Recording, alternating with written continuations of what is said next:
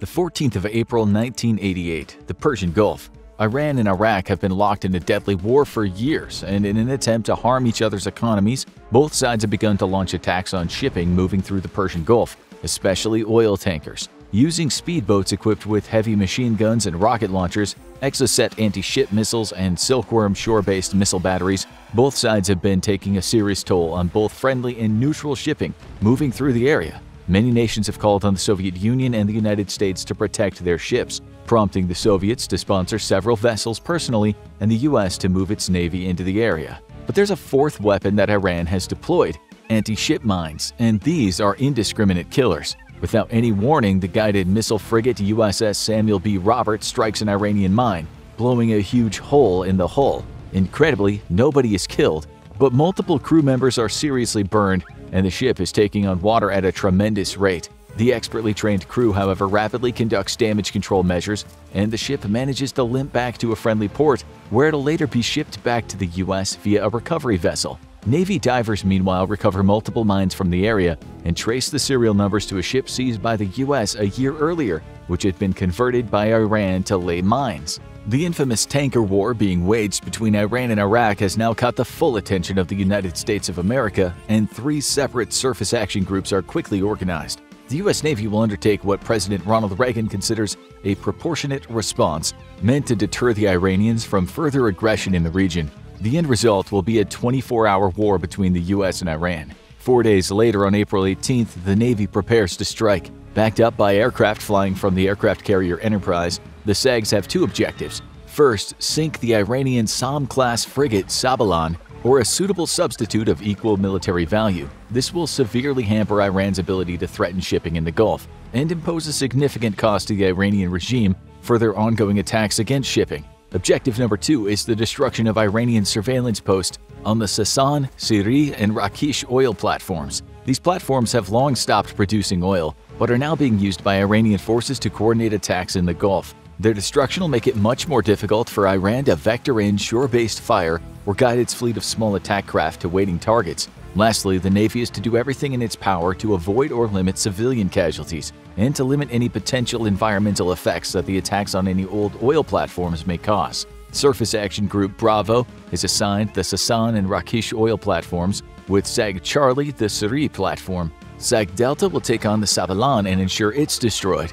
The USS Gary, a Perry-class frigate, will remain on call to provide direct support to any of the three SAGs, while providing security for transiting civilian traffic in case of Iranian retaliation. At 0800 hours, SAG Bravo approaches the Sasan platform. U.S. Marines load up onto transport helicopters and take to the air, as the Iranian platform is given a radio warning that it's about to be attacked. The Americans order the Iranians to evacuate the platform and are given 20 minutes to do so, However, the Iranian defenders appear to be in no mood for surrender and move to man several 23mm Zu-23 guns. As the deadline comes and passes, the U.S. ships begin to open fire with their main guns. Explosive shells smash into the superstructure of the platform, tearing and twisting metal and sending deadly splinters flying across each platform. The Iranian defenders fire back with their AA guns in sheer desperation, but the twin cannon Zu-23s have no hope of doing much more than scratching the paint on the American ships. The US ships meanwhile score several direct hits on gun positions,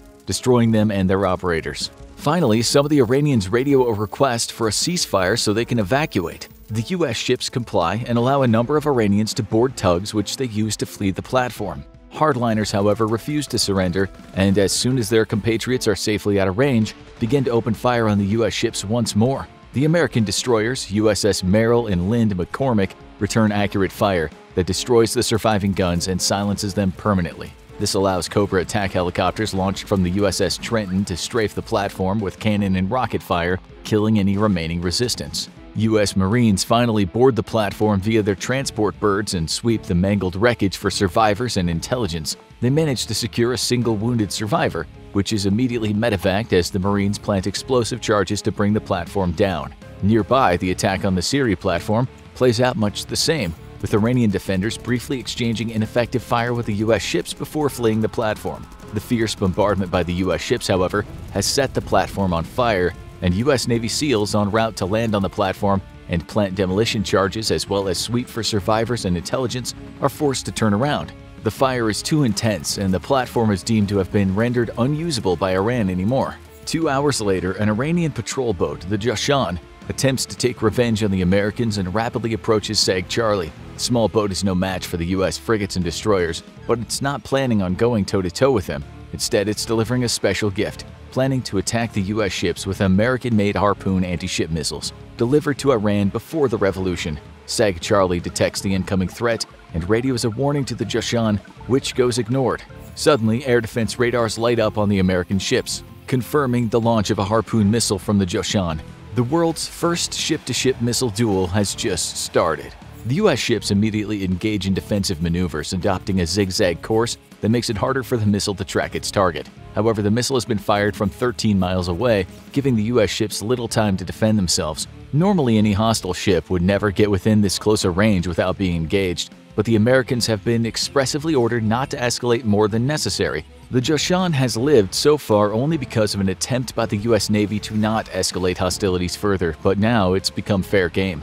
The Americans fire off chaff to confuse the Harpoon's guidance system, and the missile splashes harmlessly into the ocean. They then respond with their own missiles, firing a volley of standard surface-to-surface -surface missiles. The lighter missiles, however, only manage to do serious damage to the ship's superstructure, not sink it. The USS Bagley fires its own harpoon, which goes off target, but as the Jashan is dead in the water, the US ships move to within gun range and begin to open fire with their main guns. The Jashan soon is sinking beneath the waves. In retaliation for the destruction of the platforms, though, Iran has dispatched speedboats to attack multiple civilian targets in the Gulf, including the U.S. supply ship Willi Tide, the Panamanian oil rig Scanbay, and the British tanker York Marine. The USS Enterprise quickly puts up a pair of A-6E intruders and an F-14 Tomcat to hunt the speedboats down and deter further attacks. The small, nimble attack boats are fast, but the intruders are faster and manage to catch up to the small flotilla, dropping cluster bombs and strafing them with cannon fire.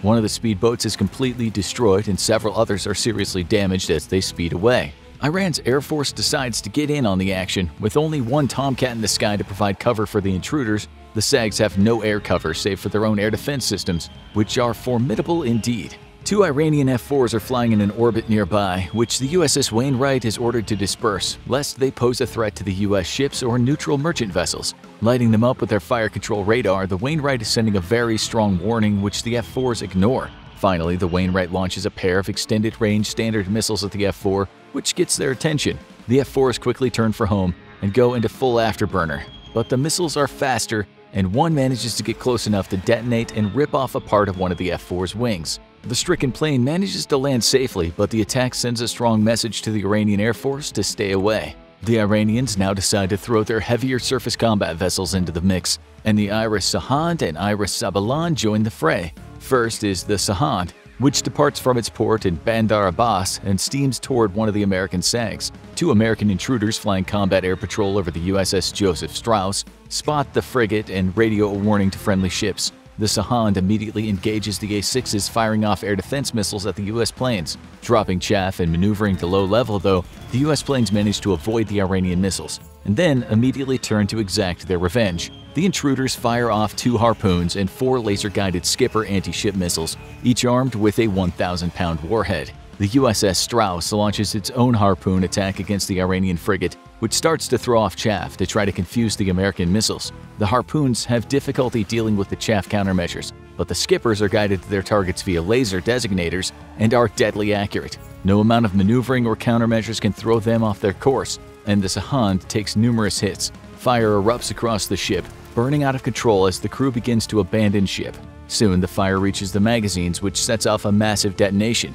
Anyone not off the ship dies instantly as the Sahand slinks beneath the waves. The Iris Sabalan has not learned anything from the day's events, it seems, as it soon steams out of port and heads into the fray. It spots American intruders on its air defense radar and engages them with surface-to-air missiles. The Americans once more engage in defensive maneuvers, dropping chaff and flares to throw off the Iranian missiles. Out of surface-to-air missiles, the Sabalan, one of the primary targets of Operation Praying Mantis, is about to discover the power of one of the U.S. military's most revolutionary accomplishments, precision weapons. Lieutenant Commander James Engler turns his A-6 toward the enemy ship. Using a laser designator, he places the laser pip directly on the Sabalan smokestack. As the intruder roars by overhead, he releases a single Mark 82 laser-guided bomb. which uses onboard fins to guide itself as its seeker head sniffs out the intruder's laser designator painted directly onto the enemy ship.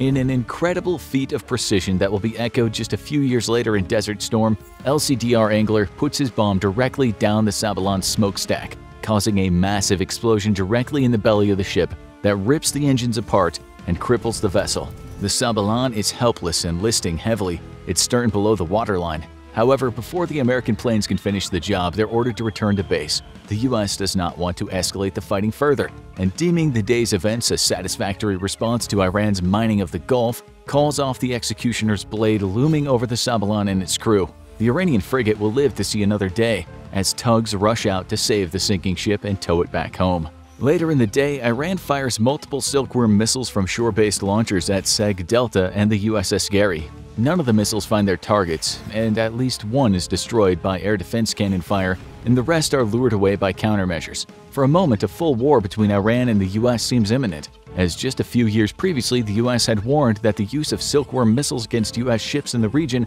would trigger an automatic retaliation against the Iranian mainland. However, the White House decides that there have been enough casualties for the day and it's not worth escalating the situation further. Thus, the Reagan administration downplays the launching of Iranian silkworms. As night falls, the US takes further de-escalationary measures, which are accepted by Iran.